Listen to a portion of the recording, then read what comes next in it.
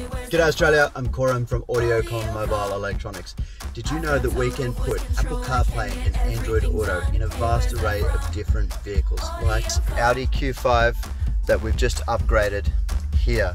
So that's including OE systems. We can add Apple CarPlay and Android Auto to your original Audi interface, as well as, in this case, we also fitted a aftermarket reverse camera fully integrated to the active trajectory lines.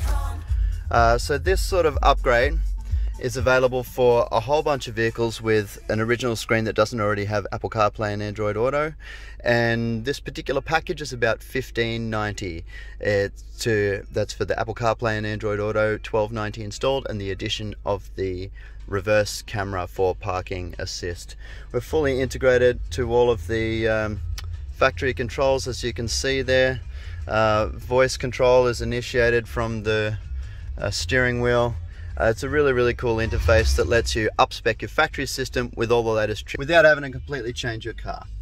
So if you're looking for an upgrade for Apple CarPlay and Android Auto or a safety upgrade to help keep your driveway safer and to help you maneuver more easily, then contact Audiocom. Make sure you hit that subscribe button check out the website audiocom.net.au for your closest store location and to leave an inquiry so that we can send you a quote specific to your needs. Thanks for watching. Hit that subscribe and throw us a like. We'll see you again soon.